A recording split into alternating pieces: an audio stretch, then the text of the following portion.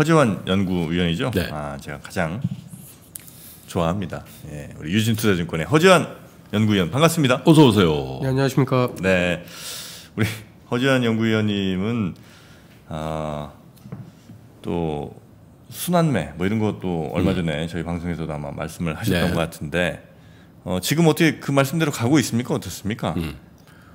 뭐 가는 중인 것 같고요. 네. 근데 힘은 제가 생각했던 것보다는 조금 약한 것 같긴 합니다. 음, 그 순환매라고 하면 정확히 어떤 겁니까? 뭐 하나 올라가고 그에 따라서 전형적으로 강세장에서 나타나는 거 아니에요? 순환매라는 게. 그렇죠. 예. 뭐 예를 예를 들면 뭐 경기 관련주 됐다가 그죠? 그러다가 어느 날 딱 보니까 또 바이오가 되네. 바이오가 좀 스물스물 내려니까 또 IT가 되네. 뭐 이런 식으로 계속 돌아가면서 예, 돌아가면서 쭉. 오르면서 지수는 올라가는 그런 상황을 순환매라고 하죠. 음, 근데 이제 우리 허재한 연구위원님이 예상한 대로 가곤 있지만 어, 그 크기만큼은 내 생각만큼은 아니었던 것 같다. 아, 지금 현재 그런 상황으로 보고 계신 거고. 그리고 지난 뭐 연휴 때라든지 아니면 그 전후로 해서 네. 뭐 우리도 봤습니다만 이른바 분노의 소비. 예. 그 진짜 일어난 건 맞는 거죠? 네, 그 백화점이나 네. 뭐 이런 데 가보면 생각보다 아울렛 사람들이 같은데. 굉장히 좀 많았던 것 같고요. 네. 사실 이제 그 저희 이제 이번에 황금 연휴 직전에 전에도 사실 일부 백화점 뭐 명품 매장이라든가 주요 관광지들은 생각보다 사람들이 굉장히 좀 많았었던 것 많았죠. 같습니다. 예. 그래서 이런 게 오히려 이제 5월달 황금 연휴를 앞두고 네. 이런 게 좀 세게 분출이 될 수 있지 않을까라는 생각에서 예. 이제 뭐 분노의 소비 또는 뭐 보복성 소비 이런 것들에 대해서 좀 관심을 어, 가져봤는데요.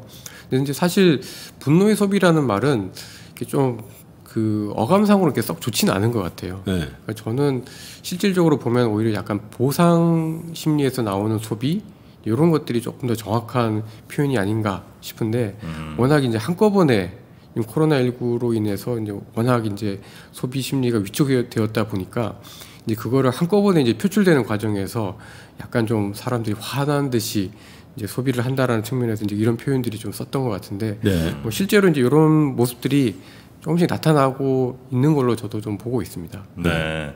주로 소비 중에도 뭐 우리가 흔히 그냥 뉴스에서 보기에는 무슨 명품 그다음에 뭐 가전제품 이쪽으로 좀 몰리 있는 것 같다 그렇긴 한데 뭐 대체로 여기에는 동의하십니까? 예, 그렇습니다. 아, 뭐 다른 다른 소비 좀 이렇게 눈여겨 볼 만한 소비 테마나 이런 건 좀 없어요? 어, 물론, 물론 아, 제가 생각할 때는 이제 그 아직까지는 이게 저희가 일, 뭐 생활 속 거리두기로 전환이 되었다고는 네, 하지만 음. 여전히 이제 일상으로 가기는 약간 좀 조심스럽지 않습니까? 네. 뭐 길거리에도 이제 마스크 안 하신 분들이 조금씩은 있지만 그래도 마스크를 하신 분들이 훨씬 더 많고 예. 그래서 조금씩 조금씩 정상화되는 과정이기 때문에 이게 아직 눈에 확 다 들어오지는 않다라고 좀 보고 있습니다만은 음. 어쨌든 가장 그, 이, 어, 이 코로나나 여러 가지 이런 위기 상황에서 가장 크게 위축되었던 뭐 명품 소비라든가 네. 백화점이라든가 이런 쪽에서부터 먼저 시작이 됐기 때문에 이런 것들이 조금씩 조금씩은 확산될 가능성이 있다라고 예. 저는 좀 보고 있습니다. 음.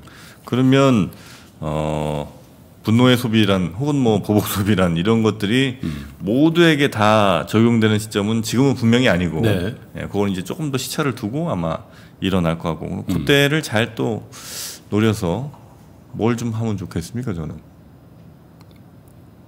뭘, 아, 주식 투자요? 네 저는 주, 저는, 저는 주식 투자죠 그럼 제가 뭐 어떻게 뭘 하겠습니까 가게 할 수는 없잖아요 어, 저는 이번에 좀 그 회복되는 속도가 느리다는 게 가장 키 포인트인 것 같고요. 회복되는 속도가 느리다 네. 예. 그래서 같이 다 좋아지는 게 아니라 예. 좋아지는 업체와 그렇지 못한 업체가 확 갈릴 것 같은데요. 예. 뭐 이번에도 그 이번 위기로 인해서 특히 온라인 쇼핑 쪽에서도 이 쿠팡이 완전 새롭게 뜨고 있지 않습니까? 그렇죠. 쿠팡 예. 그리고 마켓컬리 같은 음. 이 음식 특히 신선식품을 운반하는 업체들이 이번에 완전히 또 판을 새롭게 좀 네. 만든 것 같고요. 예. 그런 측면에서 봤을 때는 다들 온라인 온라인 하지만 특히 온라인 쇼핑 중에서도 어 그나마 뭐 쓱, 쓱딱함처럼 좀 강점이 있는 신세계 같은 이런 업체들이 아. 어 굉장히 좀 나름 굉장히 좀 큰 부진에서 탈피할 네. 가능성이 좀 크다. 네. 이렇게 좀 보고 있고요. 유통 쪽에서 예, 유통 쪽에서는 좀 그렇고 뭐 백화점 쪽에서도 뭐 그런 면에서 봤을 때는 확실히 또 명품 매장 쪽에 강점이 있는 어, 업체들이 어, 또 그렇지 않은 업체들이랑 좀 많이 달라질 걸로 네. 예상을 하- 해보고 있습니다. 명품에 장점 있는 아니 강점 있는 회사가 뭐예요? 신세계죠 아무래도. 신세계가 수입 브랜드를 상당히 많이 수입을 해요. 신세계 인터내셔널. 아, 예. 그렇습니까? 예. 아, 신세계랑 아까 쿠팡, 아 쿠팡은 안 돼, 뭐 주식 투자할 수가 없으니까. 그러면 신세계네. 예, 쓱닷컴도 신세계잖아요. 그렇죠. 네. 그그 계열입니다. 예. 아, 그렇습니까? 롯데는 같은 유통 공룡이라고 하는데 롯데는 그런 쪽에 좀 떨어집니까? 아무래도 예. 어 이런 오프라인 위주인가요? 예, 여전히 그러니까 온라인이나 이런 어떤 추진 속도로 보면 예. 따라가고는 있는데 예. 이 격차가 좀 있는 거죠. 요- 그 격차가 잘 줄어들지 않고 있는 거고. 네네네. 그럼 오픈 마켓 시장은 예전만 못 합니까? 예를 들면 뭐 무슨 네, 어, 옥션, 지마켓, 뭐 11번가 이런 데 있잖아요. 거기도 한참 한 몇 년 전까지 굉장히 잘 됐었던 것 같은데 거기는 음, 지금은 그렇게 썩 경쟁력이 이렇게 높지는 않은 모양이군요. 그쪽도 어, 전체적인 업황 자체는 뭐 이번 사태로 인해서 되게 좀 그 시장 볼륨은 좀 늘어나고는 있긴 한데요. 네. 이게 이제 경쟁이 좀 치열하잖아요. 음. 뭐 지마켓, 인터파크 뭐 다들 네네네네. 이렇게 하다 하고 사실 그 업체별로 이렇게 그 색깔들이 음. 조금씩 조금씩은 다르지만 어, 좀 비슷하다 보니까 음. 사실 이렇게 어느 한 업체가 이렇게 확 튀고 나오기가 좀 쉽지 않은데 네. 그이 오프라인에서의 공룡이라고 할 수 있었던 롯데와 신세계는 예. 확실히 이번에 이번 사태 이후에 조금씩 이제 명암이 이제 갈리고 있기 음. 때문에 이런 변화들이 이제 시작이 아니냐 저는 그런 측면에서 좀 봐야 된다라고 생각하고 있습니다. 아, 그렇습니까? 그럼 혹시 저 처음에 드렸던 질문이긴 한데 순환매에서 네. 아직 저 안 올라온 친구들이 있습니까? 순환매 이제 한 번씩 다 올라왔잖아요. 네, 이제 올라갈 친구가 있을 거 아닙니까? 어, 많 아직 안 올라온 데도 많죠. 많죠. 예. 어디 어디에? 정프로는 다 올라왔나 봐 보니까. 다 순환했나? 저는 잘 모르겠어요. 어, 어디입니까 주로? 그러니까 그 어떻게 보면 올해 고점 대비해서 네. 이제 좀 그 뛰어넘은 업종이 있고요. 네. 그렇지 못한 업종들이 아 뛰어넘은. 업종이랑 그 알려주세요. 뭐 뭐예요? 뛰어넘은 업종은 이제 제약 업종입니다. 아, 제약은 다들 뛰어넘- 바이오, 아시겠지만 바이오. 네, 바이오 어, 제약 업종이 바이오. 어쨌든 올해 고점을 뛰어넘어서 네. 이번 위기 이후 완전 이제 새로운 주도주로 지금 자리매김을 좀 하고 있고 예. 그 다음에 생각보다 회복률이 빠른 게 음식료 업종입니다. 음식료. 음식료. 아, 뭐, 그 음식료는 어차피 코로나 바이러스에도 불구하고 먹고 마셔야 되잖아요. 그러니까요. 음, 음. 그러니까 타당하고. 예, 그- 그러니까 그런 게임도 업종- 올랐죠 게임. 네, 게임도 괜찮은 괜찮은 편이고 예. 요 이미 다 올랐죠 거기. 예. 예. 그래서 인터넷, 인터넷도 좋았죠. 예, 네이버, 네이버, 카카오, 네이버, 카카오. 카카오. 아주 어. 좋았죠. 지금도 잘 나가고 예. 있고. 아, 그래서 이제 사실 그런 업종들은 이미 이제 시장에서 거의 이제 자리를 잡고 있기 때문에 예. 이제 지금부터는 이제 상대적으로 이제 덜 오른 업종 자. 예, 봐야 되는데 덜 오른 업종. 그 은행 증권 업종이 상대적으로 좀 덜 올라. 은행 증권. 지난 주간에 한번 크게 한번 올랐었죠. 네. 네. 그리고 어, 자동차, 자동차. 자동차. 자동차, 그다음에 네. 기계, 예. 기계. 뭐 이런 업종들, 그다음에 섬유 의복 예. 이런 업종들도 상대적으로 좀 덜 올랐습니다. 예. 그리고 뭐 말씀하셨던 유통도 예. 최근 들어서 조금 이제 오르긴 했는데 그래도 다른 업종들보다는 조금 이제 괴리는 좀 있는 편이고요. 그렇죠. 그래서 그런 업종들로 어 뭐 물론 이제 IT, 인터넷, 뭐 제약 바이오가 주도주긴 하겠으나 예. 이런 업종들도 조금씩 힘을 받을 때가 되지 않았느냐 네. 저는 이제 그렇게 보고 있습니다. 그러니까 이제 untact에서 contact으로 간다라고 보는 봐야 되나요? 지금 말씀하시는 게. 근데 아직까지는 그 정도는 아닌 것 같고요. 예. 이제 그 언 그 언택으로 가고 있는 과정 중에서 예. 그래도 어, 그런 IT나 이런 그 새로운 상황이 가장 잘 적응하고 있는 업체들이 네. 이제 그 이러한 산업들 내에서도 이제 좀 더 빨리 회복이 되고 있다 이렇게 저는 좀 보고 있습니다. 아니 그 은행 증권이니 자동차 기업 이런 거는 음. 그동안 안 오른 게 네이버 뭐 음식료 제약바이오가 좋아 보일 것 같은 글로 돈이 쏠린 거잖아요. 네, 그럼 순환 매, 순환 그 장이라고 한다면 그 좋은 거 오른 거 보고 나서 음. 아 이제 여기는 좀 들어올랐으니까 여기도 한번 돈 넣어볼까 이렇게 간다는 거예요? 네. 아, 원래 그렇습니까? 나는 사실 좀 안 그러지. 난안 그럴 것 같은데. 나는 내가 좋아하는 거 네. 위주로만 하는데. 근데 순환매 순환매 이런 장세가 나는 은행주 안 사본 지가 벌써 한 20년 됐는데. 아, 자주 있어요 이런 이런 일들이 순환매라고 하는 이런 장세 같은 게.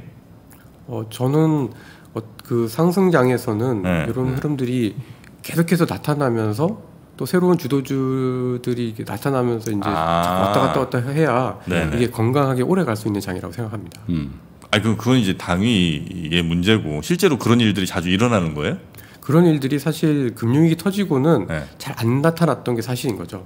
그럼 안 나타날 가능성이 높은 거 아닙니까? 어, 근데 이제 일정 부분 그 주가가 오르고 난 다음에는 네. 또 소위 말하는 이제 키 맞추기 같은 모습들이 아, 약간씩은. 나타나고 아. 저는 이제는 어, 사실 이게 그 제약 바이오, 인터넷 이런 업체들이 좋긴 하고 음. 앞으로도 성장하겠지만 사실 또 가격이 네. 네. 이렇게 아주 매력적인 정도로 이제 싸진 않기 때문에 그래요?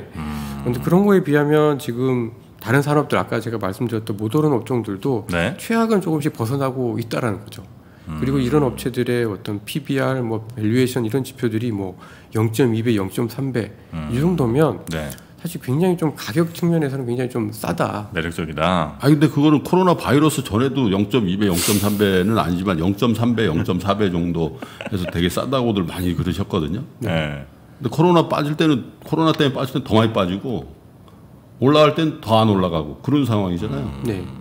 어, 근데 이제 어, 예를 들면 이제 은행이 이제 대표적인 예. 소장님 말씀하셨던 은행이 대표적인 게 어, 그런 업종이었던 거죠. 예. 왜냐하면 아무리 싸도 이 업종에 대한 어떤 그 새로운 어떤 성장이라는 것이 보이지 그렇죠. 않는 그런 업종들인데 지금 카카오뱅크가 다 먹어버린다는데 네. 지금 어제 어제도 뭐 카카오뱅크 실적 나왔는데 surprise 나왔더라고. 예. 물론 다 먹는다는 표현은 좀 그렇지만. 근데 이제는 어, 지금 이 위기로 인해서 이 음. 위기 이후에 좀 많이 변한 것 중에 하나는 사실 굉장히 또 유동성이 좀 많이 풀렸습니다. 그리고 어, 앞서도 뉴- 뉴스에서도 나왔지만 이제 정부의 정책들이 예. 어, 뭐 수요 억제에서 공급 확대 쪽으로 음. 조금씩 조금씩 이제 정책의 방향이나 돈의 흐름들이 이제 바뀌어 갈 가능성도 있다라는 거죠. 네. 그러면 물론 앞으로 세상은 네. 계속 뭐 언택트, 인터넷 또 제약 바이오 이런 쪽으로 가긴 하겠지만 음. 결국 구- 구경제 쪽에서 이러한 그 언택트에 그래도 살아남을 수 있는 업체들 그리고 예. 그러한 기술을 적극적으로 받아들여서 변하고 있는 업체들은 완전히 또 새롭게 봐야 될 수 있는 시점이 저는 오고 있고 저는 오히려 이 코로나 19라는 거대한 위기 또는 단기적인 큰 충격이 이러한 기업들의 어떤 전환을 굉장히 빠르게 어, 좀 바꿔놓을 가능성에 좀 더 저희는 좀 주목을 해야 된다라고 네네. 생각을 하는 거죠. 아. 그래서 오히려 저는 어, 앞으로 앞으로 한 5년 10년 뒤에 주도주는 뭐 저희가 일반적으로 아는 물론 뭐 뭐 그 IT나 바이오에서 분명히 또 굉장히 좀 독보적인 업체들이 나오겠지만 음. 은행 가운데서도 또는 유통 가운데서도 음. 또는 자동차 내에서도 이렇게 완전히 변신해서 클 수 있는 산업들이나 업체들이 나타날 가능성이 있다. 음. 그리고 저는 이제 지금 이런 큰 위기 이후에 업종별로 약간 갈릴 때 조금 더 먼저 앞서가는 업종들이 그럴 수- 가능성이 굉장히 좀 크기 때문에 음. 오히려 그런 업체들이 앞으로 5년 10년을 보면 더 좋아질 수 있는 거 아니냐. 이미 뭐 새- 네이버 카카오가 좋은 건 다 알고 네. 또뭐 금융 쪽도 카카오가 다 먹을 것 같지만 이제 사실 이제 그 market share라는 거는 이미 정해져 있는 거잖아요. 네. 근데 어, 예를 들어서 은행이 뭐 어, 새롭게 이제 인, 인터넷 뱅킹 쪽으로 해서 새롭게 이제 어, 탈바꿈을 하고 유통이 완전히 어, 그 언택트 시대에 이제 새롭게 탈바꿈을 하게 되면 음. 이 업체는 그렇지 못한 업체들의 market share를 다 가져갈 수가 있는 거잖아요. 예. 아. 그래서 저는 어, 오히려 지금 덜 올라 있는 업종 내에서 네네. 이렇게 좀 치고 변- 나오고 있는 변화하는, 업체들이 변화하는. 변화하는 업체들이 네. 앞으로 5년 10년을 보면 훨씬 더 어, 포텐셜이 있는 거 근데 아니냐? 은행 은행 산업 내에서 뭐 예를 들어 4대 금융지 중에 변화 를 시도할 만한 데가 이- 보이세요? 은행은 저도 사실은 별로 없죠? 자신은 없습니다. 증권회사는요? 증권 증권회사는 글쎄요, 저 증- 제가 이제 증권 유진증권 담당- 말고 유진증권은 뭐 당연하고요. 변화하는 데가 이렇게 잘 대답이 안 나온단 말이에요. 왜냐하면 규제 산업이기 때문에 그렇잖아요. 그게 네. 정부가 가이드라인 주고 이렇게 하라고 그리고 라이센스 주고 하는 산업이니까 사실 PBR 이게 0.3, 0.0.2라는 게 아니, 정부가 풀어줘 돈 많이 벌면 야 은행 너무 니네 돈 너무 많이 벌었는데 이렇게 하는 순간 수익이 축소되는. 그러니까 제가 뭐 한전이니 이런데 절대 투자 안 하는 이유가 돈좀 벌면 바로 바로 전기 전기요금 인하 들어가. 아니 그 무슨 주주 가치가 있냐. 그래서 큰 범주에서 보면 은행이나 이 금융산업도 그런 거 아니냐. 미국의 JP 모간 주가나 골드만삭스 주가가 그렇게 움직이나요? 전부 규제 산업이기 때문에 그런 거 아니에요? 네. 그만 혼내세요. 아니 아니 이게 허지만 그래서 그냥 싸다고만 해서 네, 네. 순환매의 한 과목으로 이렇게 아. 넣는 게 맞는가 이제 그런 이제 문제 제기를 하는 거죠. 이제 허 의원님은 워낙 지금 저평가도 돼 있는 상황에서 이들 가운데서도 뭔가 어, 변신을 하는 과감한 혁신을 하는 이런 기업들이 나오면 네. 그 old economy 안에서도 확실히 돋보이고 그 이익들을 싹 가져갈 가능성이 좀 높다 이런 말씀이신 거죠? 네. 그리고 은행 관련해 가지고 제가 한 가지만 말씀드리면은 네. 아, 이 은행이 오르면 어떡하지? 아니요, 아니, 저도 소장님 말씀처럼 규제 산업은 되게 힘들다고 봐요. 네. 근데 이번 위기 이후에 조금 바뀐 거는 네. 미국도 그렇고 저희도 그렇고 이 바젤 3 같은 규제 같은 것들을 약간 네. 완화시켜 주고 있잖아요. 음. 어쩔 수 없이 이제 완화시켜 주는 거죠. 예. 그리고 특히 어, 미국의 은행들 같은 경우는 되게 특이하게도 그러니까 미국의 은행들이 2008년 금융 위기 이후에 구제금융을 많이 받았잖아요. 예. 예, 그러면서 뭐 배당 뭐 배당은 물론 계속 많이 하긴 하지만 여러 가지 규제 특히 자기 자본에 대한 규제들이 굉장히 많이 들어갔는데 음. 어 이게 이번 위기 터지고 어 이게 그 페드나 연준이 유동성 공급을 많이 해주지만 결국 은행들이 중소기업들한테 대출을 많이 해줘야지 사실 경기가 살아나는데 네. 자기 자본 규제가 굉장히 세다 보니까 네. 이제 대출이 잘 안 되니까 이제 이 규제를 풀어주기 시작을 하고 있거든요. 네. 그러니까 의외로 저는 이제 물론 규제 산업이다. 그리고 저도 이렇게 장기적으로 봤을 때 경쟁력이 떨어지는 건 맞지만 오히려 이번 위기로 인해서 이러한 그 규제 산업의 어떤 강도가 네. 약간씩 약해지는 측면들이 분명히 어, 있고 그런가요? 네, 미국의 은행들은 조금 그렇습니다. 아 그런가요? 오히려 미국이 미국의 정부나 중앙은행에서 돈을 푸니까 그죠? 그게 돈, 원래 돈 가진 사람이 주인 아니에요. 이렇게 네. 요번에 뭐 연준이 무제한 양적 완화하고 정부에서 뭐 무제한으로 그러면 정부의 영향이 더 커지는 거 아닌가요?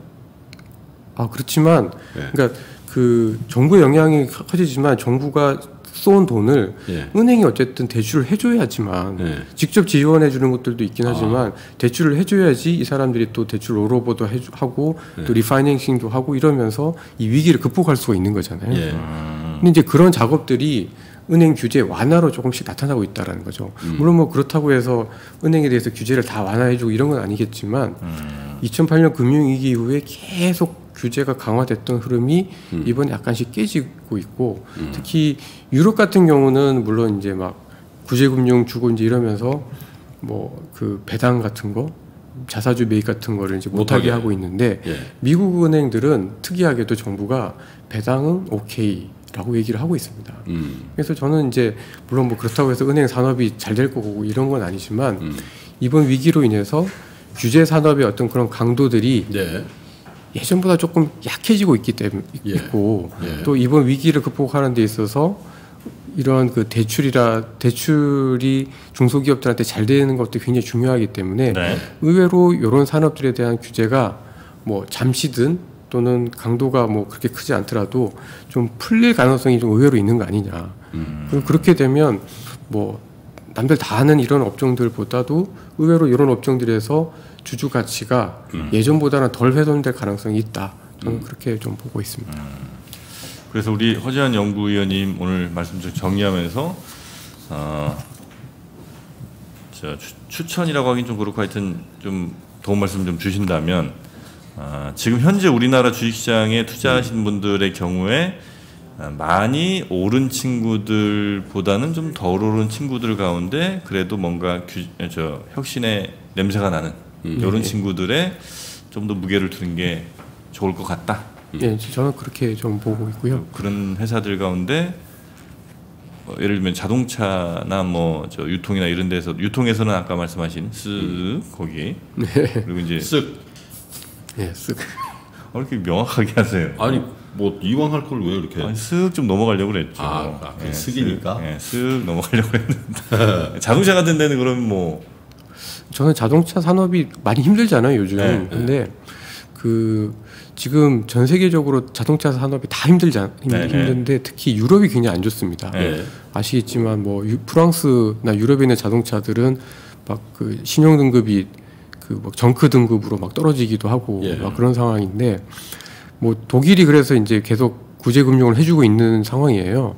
근데 이제 저는 이게 조금 더 길어지거나 회복의 속도가 늦어지게 되면은 음. 저는 현대차나 도요타 같이 같이 완성차 중에서도 다 라인업을 갖춘 이런 업체들이 조금 더 부각될 가능성도 있는 것 같습니다. 어떤 면에서? 왜냐하면 그러니까 그 소위 말하는 유럽이나 이런 업체들 중에서 업체들이 몇개 죽는 거죠. 음. 음. 근데 지금 보면 자동차 업체들이 어뭐 어떨 때는 세단이 좋았다가 지금은 또 뭐 SUV 가 SUV가 좋았다. 좋았다가 아. 뭐 지금은 또 전기차가 좋았다가 네. 또또 한때는 또 갑자기 또 수소차 얘기가 나왔다가 음. 이런 이렇게 조금씩 조금씩 바뀐다는 거죠. 그러니까 시장의 어떤 트렌드가. 네. 근데 이거를 다 어떠한 상황에서도 대응할 수 있는 아, 그 현대 도요타 그러네요. 예, 모든 라인업을 갖추고 있는 전기도 하고 수소도 하고. 특별히 뭐에 집중하지 않고 네. 거의 전 제품이 다 있으니까. 그래서 전기차가 좋을 때는 당연히 테슬라가 네. 좋긴 하겠지만 네. 이런 이- 그러니까 제가 생각하는 전제는 두 가지죠. 하나는 요 회복이 빠르지 않기 때문에 어, 뒤처지는 유럽이나 일- 일부 업체들이 이제 더 그 뭐 망가지거나 굉장히 부도라든지 이런 식으로 해서 공급의 축소가 나타날 가능성들이 커지고 있다. 네. 그런데 도요타나 현대차 같은 경우는 어, 굉장히 강한 라인업을 다양하게 갖추고 있기 때문에 어떠한 상황에서든 대응은 가능하다. 아, 현대차를 좋게 보시네, 그러면.